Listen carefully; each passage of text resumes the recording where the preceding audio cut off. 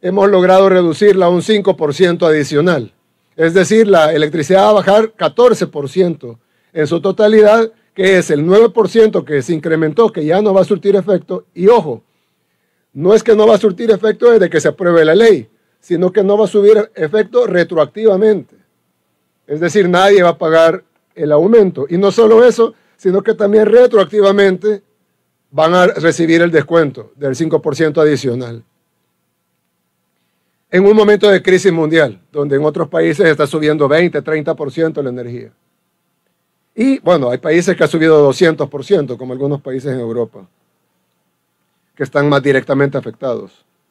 Así que vamos a, vamos a bajar la energía a la población, bajarle el precio de la energía. Recuerden que lo que vamos a bajar es la tarifa, no el recibo. Eso quiere decir que deben de gastar lo mismo para ver el descuento.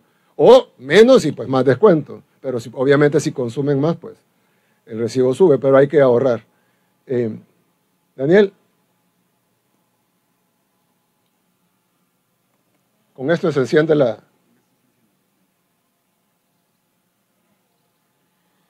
¿Pero es de verdad el botón o de mentira? Es de verdad, claramente.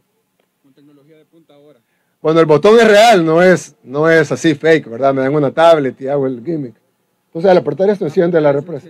¿Se tarda un rato o es de un solo? Se, tarda 12 segundos, más o menos. 12 segundos, bueno. Así que,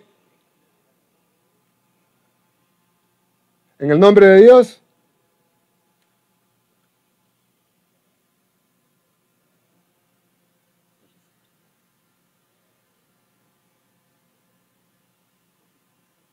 ¿Y ahora qué esperamos? Los 12 segundos. Bueno. Ahí está.